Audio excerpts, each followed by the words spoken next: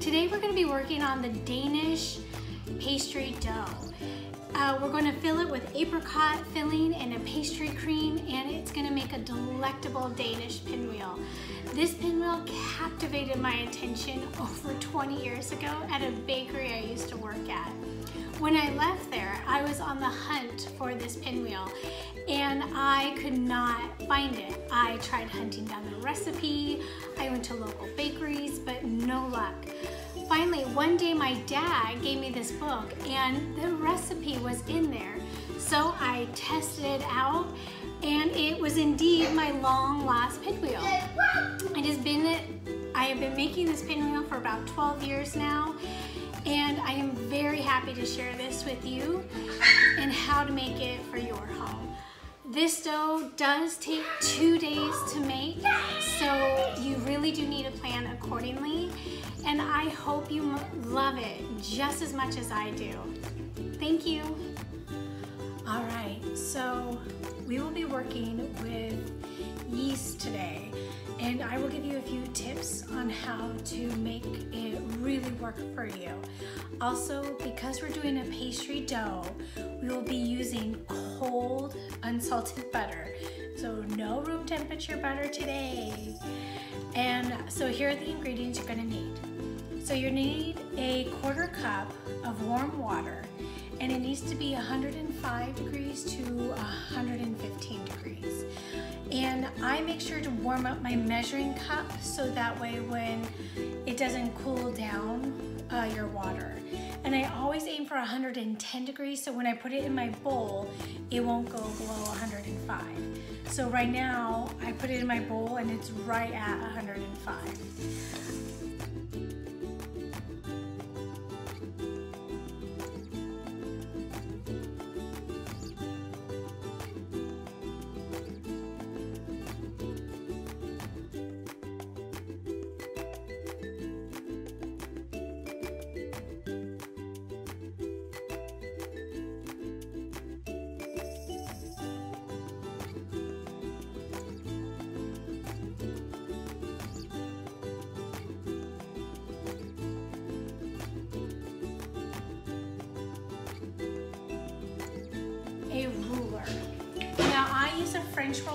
The one that does not have any handles. It really does make it easier to roll, especially if you're gonna come on this pastry dough journey with me. And these items will actually we'll use when we start rolling out the dough, so we don't need them just yet. All right, so we're gonna get started. Okay, so the first thing you wanna do is you're gonna pour the water into the large bowl, which I've done here, and I'm just rechecking the temperature to make sure that we are still good standing. All right, and then you're gonna sprinkle the yeast on top of the water, and you do not need to mix it in. So we're just gonna sprinkle this. So it's gonna begin to soften for a minute. Once you can see the yeast starting to settle into the water, you will then add the milk, egg, sugar, and salt. And then you're gonna whisk it all together. So if you can kind of see, it's kind of softened, so it's, it's moist around the edges and some of it's still not completely soaked in, but that's okay. But the same process of it starting to soften has started. So we're gonna go ahead and pour all that stuff in.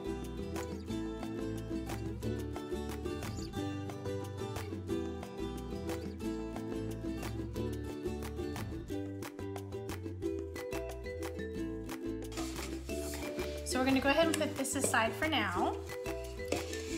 And now you're gonna put your flour in your food processor. And you wanna make sure that you have the metal blade for that. So what you're gonna do now is you're gonna drop your butter pieces into the flour and then you're gonna pulse it about eight or 10 times. I like to sprinkle my butter around as evenly as I can to kind of help have a consistent pulse.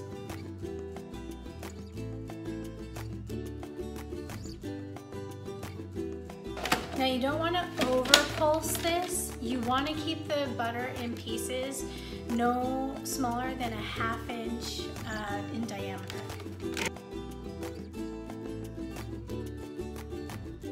So I So now I pulsed it for about eight times and I have like my pieces are nice and chunky. Okay, so now we're going to empty this into our yeast mixture.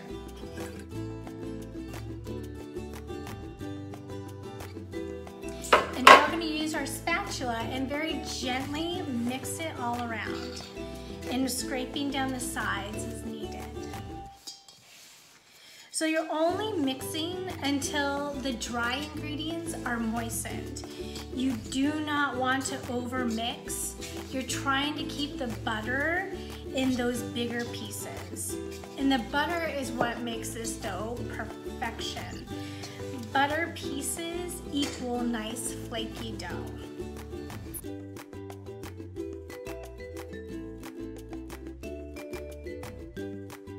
Right, so I scraped down my sides as needed and everything is moistened in there. So now what I'm gonna do is I'm gonna cover this with the plastic and I'm gonna refrigerate this dough overnight. So it can be up to four days in the refrigerator like this before you roll it out. So if you don't have time tomorrow to continue this on, that's okay. Um, so I'm gonna go ahead and wrap it up and then we're gonna see you tomorrow. And then we'll start our rolling process. Hi everyone, welcome to day two of the pastry dough. So today we're going to be rolling and filling and baking. It's to take quite a lot of time to complete this, but it is totally worth it. So the first thing you do is you're to need a nice cool surface to work with. You don't want the butter to melt, so it's important that we work fast and efficient when it comes to rolling out our pastry dough. And the first thing you're gonna do is you're gonna lightly flour your surface, which I had done already. And we're gonna put our chilled dough um, on that and we're gonna pat it into a rough square. So one thing I wanted to show you was the dough has those nice big chunks of butter in it. So now we're just gonna go ahead and pat it into a square.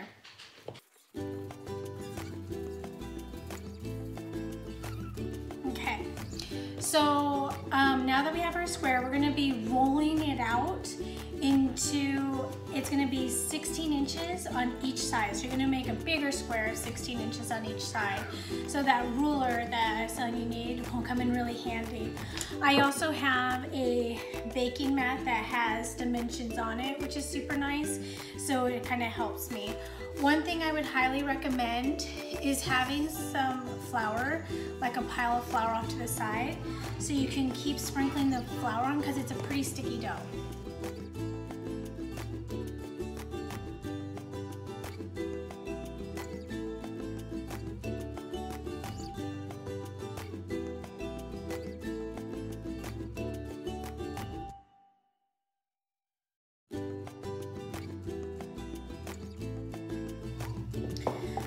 so now that we have it out into a 16 inch square, we're now gonna fold it into thirds. So you're gonna fold it kind of like you're folding a letter in the mail. So you're gonna go down to one side. It's gonna stick because that butter, and hopefully you can see the nice globs of butter in there. That's exactly what you want. You don't want the butter to mix in with the dough. Sorry, my monkey is in the back playing. And then I like to take a pastry brush and just kind of off the extra flour if there is any. All right, so I have my opening in the front and in the back. I don't want my butter to get warm, so if your butter feels warm to the touch, you're gonna take it and put it in the refrigerator. So one thing that you can do is have a baking sheet ready to go with some plastic on it. So that way you can put your, your dough on your sheet like so. And we can put it in the refrigerator for 15 minutes, okay? Okay, so it's been about 10, 15 minutes later and my dough is nice and chilled. So now I'm going to roll this out again into a rectangle and it's you want it to be 10 inches by 24 inches. So go ahead and do that. And don't be afraid of the flour.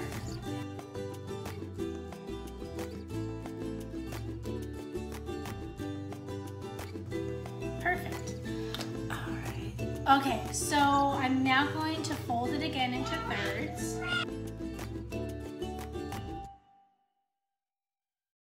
Okay, so because that is, it didn't take very long, I'm gonna go ahead and roll it out again to now a 20 inch square. So all we're doing is folding layers into layers, just like you would with croissants, because you wanna get that nice flaky texture and rolling it out and layering it and rolling it and layering it is what gives you the nice texture of a, of a pastry dough or a croissant because the croissant's gonna be the same thing.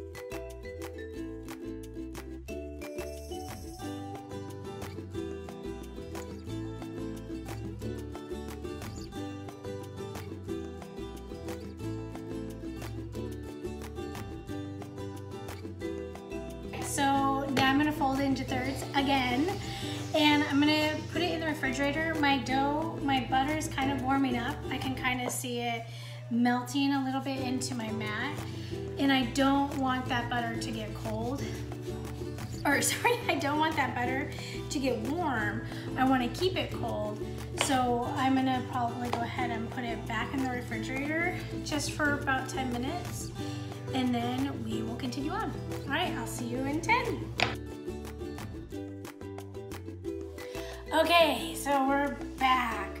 So guess what? We're gonna roll it out again to 10 inches by 24. Now, this should go by fast. As you're getting used to doing this kind of dough and you can roll faster and faster and it becomes more easier, you don't have to do necessarily the trips to the refrigerator. The trips to the refrigerator are just to keep it from getting warm because you want to keep that butter cold. So um, just know the more practice you do, the less time it will take you to do all of this.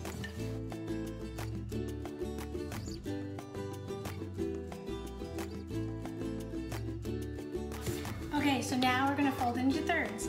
So also the key is when you're rolling it, try to roll it from the center out. Center out, center out, center out. It helps to keep the, the dough nice and level. And now we're all done with rolling it and this dough is now actually ready to be used in any kind of recipe that you want.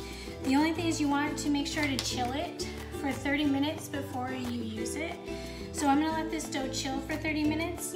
And in the meantime, we're gonna actually work on making the fillings for this particular dough.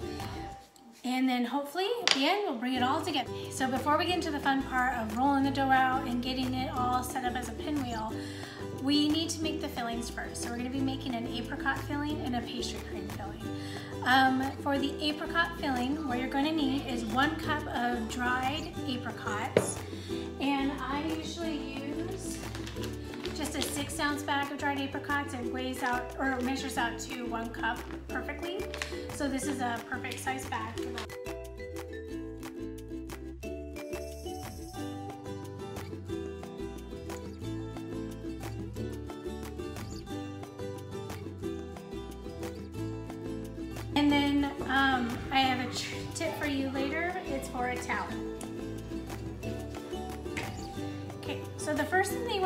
you want to to put the water and apricots and sugar all together. Okay, so now what we're going to do is we're going to stir it all together. So we're gonna put this in the microwave for 10 minutes, but you're gonna stir every three minutes or so. And you want the apricots to look a little bit puffy and absorb some of the liquid and a little bit on the soft side.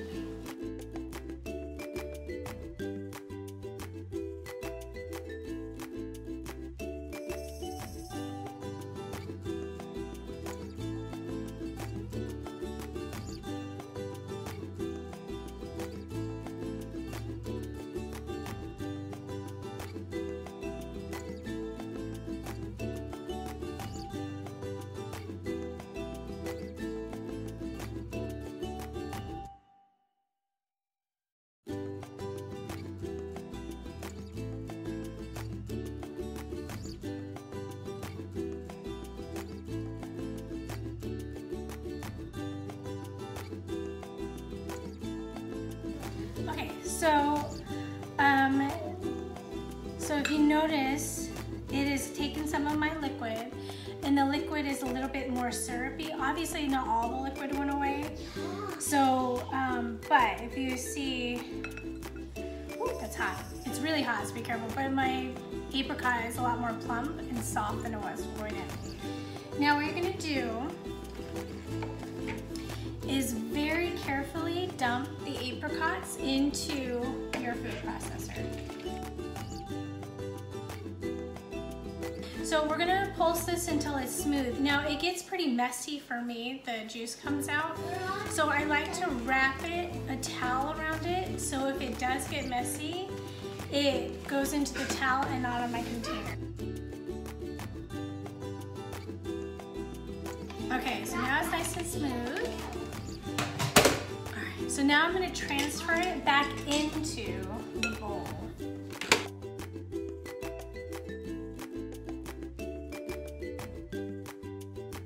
right, so now we're gonna add the lemon juice and the um, almond extract.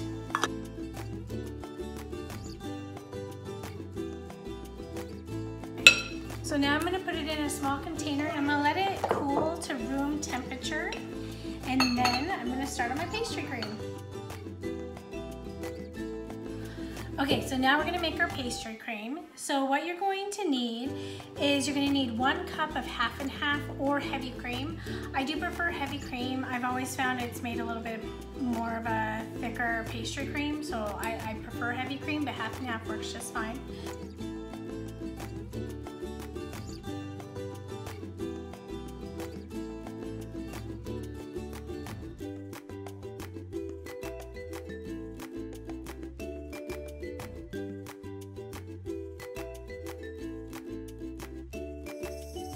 So the first thing that we're gonna do is we're gonna actually mix the vanilla with the egg yolk.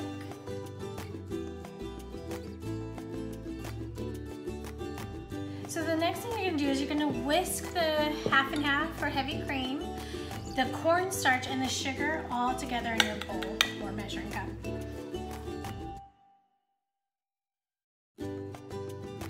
Okay, so once you do that, we're gonna microwave it for one. And then after that minute, you're gonna stir.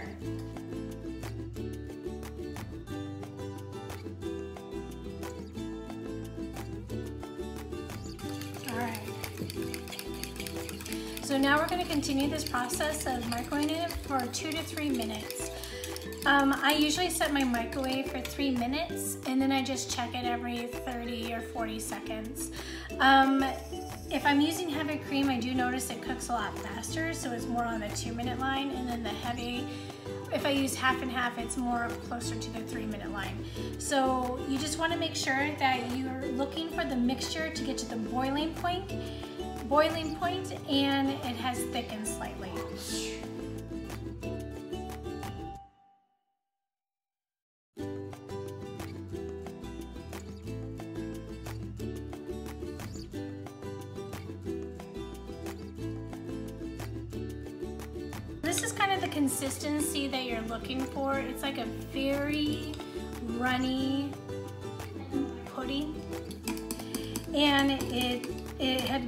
Over, so that's what you're kind of looking for is that nice runny pudding. Um, so now that you have the right consistency, you're gonna slowly add this into the bowl with the yolk. So what I'm usually aiming for is about one to two tablespoons of the cream into the yolk. You do not want to add too much because what you'll end up doing is scrambling your eggs and then it'll just destroy your pastry cream. So our goal is just to warm up the egg and without cooking it. All right, so you want it to be warm enough. All right, so I'll start off with a tablespoon and stir it together. And I'm adding just a little bit more in just to warm up the egg. It is a fine balance to get and I have mixed that or missed that mark before and if you have, you're just gonna have to start over and try again. So once you feel like you've gotten a good mixture and you feel like the egg is warm enough to add to the pastry cream without scrambling it, so it's got a nice kind of mustardy color to it, then you're gonna go ahead and pour it into your actual cream. And now we're gonna back in the microwave for just 30 more seconds.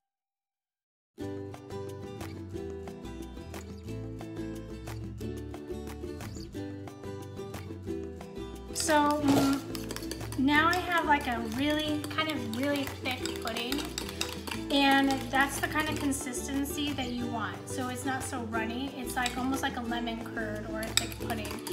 And what we're gonna do is we're gonna scrape it into that smaller bowl. And you don't wanna form a skin on it, so we're gonna take that plastic wrap and we're gonna lay that plastic wrap right against that pastry cream. And now we're gonna let it cool or cool down to room temperature and then we're gonna chill it. All right, so the final moment where we get to put it all together. It's very exciting. Um, so what you're gonna need for this step is you're gonna need the flour because we're gonna roll out the dough.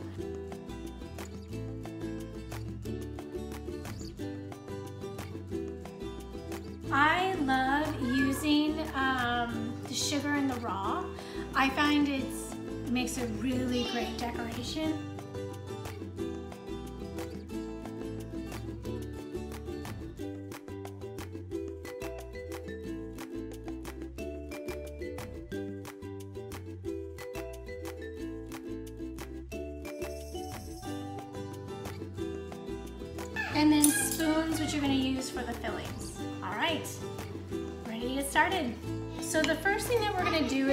Take our dough and roll it out. And we're gonna roll it out to a 20 inch square.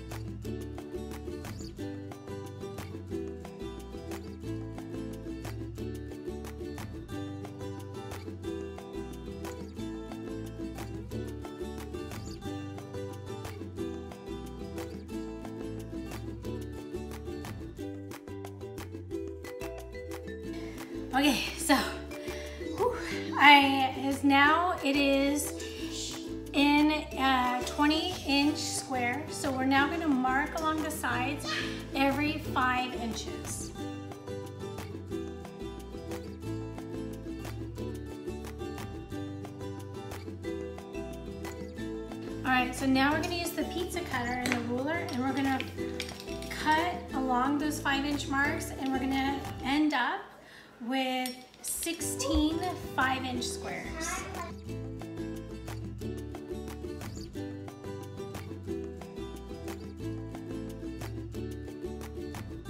So for each square, you're gonna roughly put about a tablespoon or a spoonful of, of apricot filling on each one.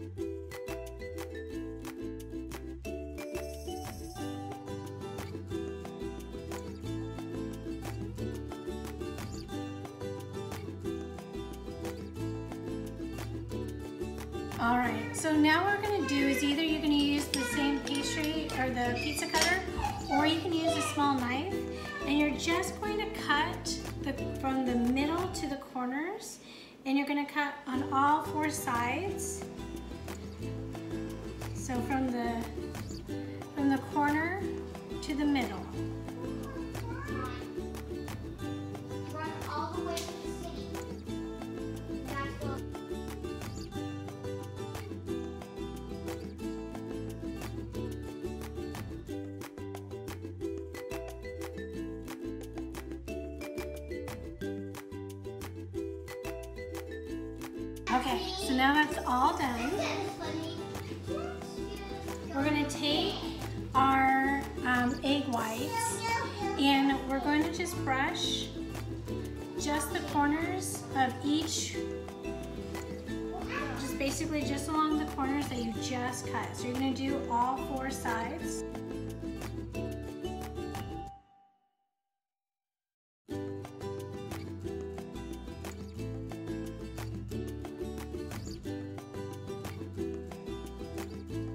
Okay, so now we're gonna make the actual pinwheel. So what you wanna do, make sure you can see, is you're gonna take one of the corners and you're going to, so hold down with your finger. So take the top, kind of looks like a little triangle. You're gonna hold down one side of the triangle and you're gonna fold the other one into the middle so it overlaps the middle.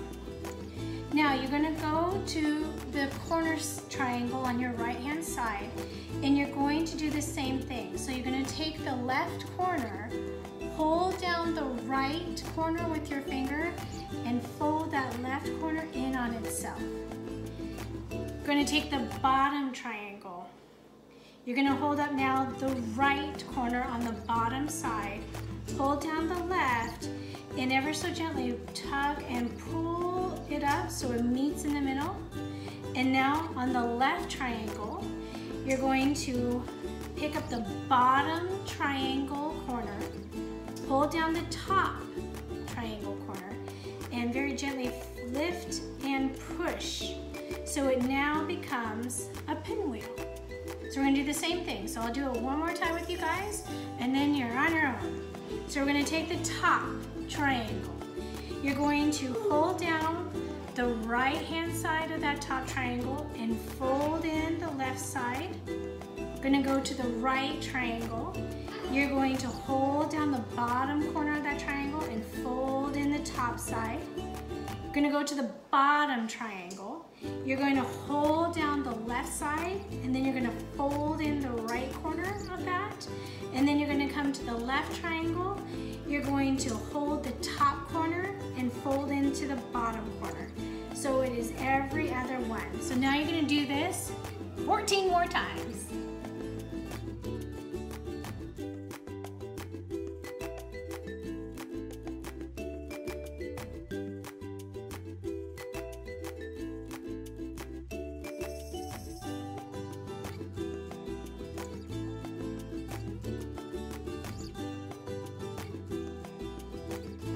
So now you have 16 beautiful pinwheels.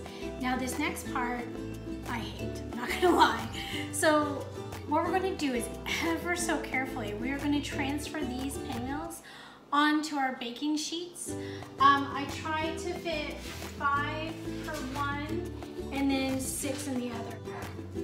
What you can do too is take a spatula to kind of help you. So the spatula holds kind of come underneath it on the other. And then I'll show you how to lay it when I get a little bit more room.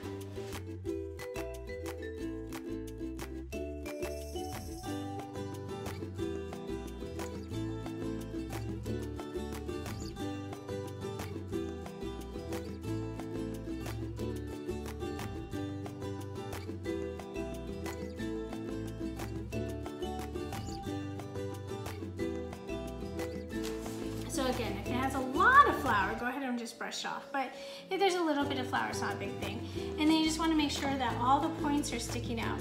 And now we're gonna let these rest for 30 minutes on the counter. Okay, so it's been about 30 minutes. So what I'm gonna do, we're gonna go ahead and preheat your oven to 400 degrees. And I'm going to brush all of my pinwheels with the rest of the egg whitewash.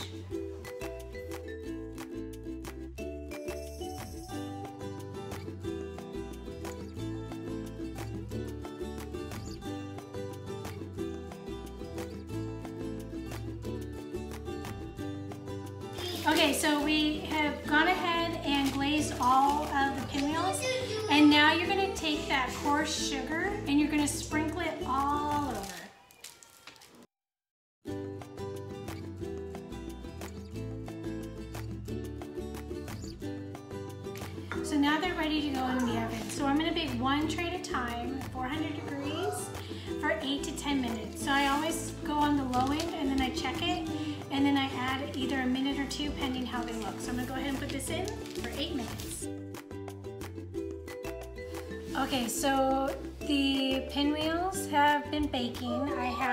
second batch in the oven. So this is what they look like when they come out of the oven. They should be a nice light golden brown. That sugar should be really sparkly and pretty. And they smell amazing. So you can eat them just like this. They're perfect, done, ready to go. And I have the rest of them going on my wire rack back there. If you want the optional glaze, what you're gonna do is you're going to take that powdered sugar and you're gonna pour your milk into that sugar and you're gonna whisk it. So all you have is just a nice sugar, sugar glaze. Now I like to put it in a Ziploc bag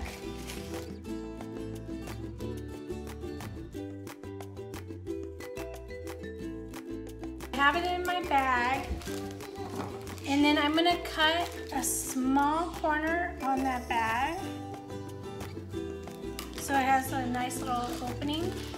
And then basically I'm gonna take my pinwheels and there's nothing fancy to this. You're literally just gonna drizzle the glaze all over the pinwheels. And you don't want to overdo it. This isn't to mask the flavor of the pinwheel. It's literally just to enhance the pastry dough. So if you notice, not very much. So um, that is the pinwheels. So that is how you make an apricot Danish pinwheel. These things are my favorite things in the entire world. It, so I'm very excited to have this. Take a little sliver here.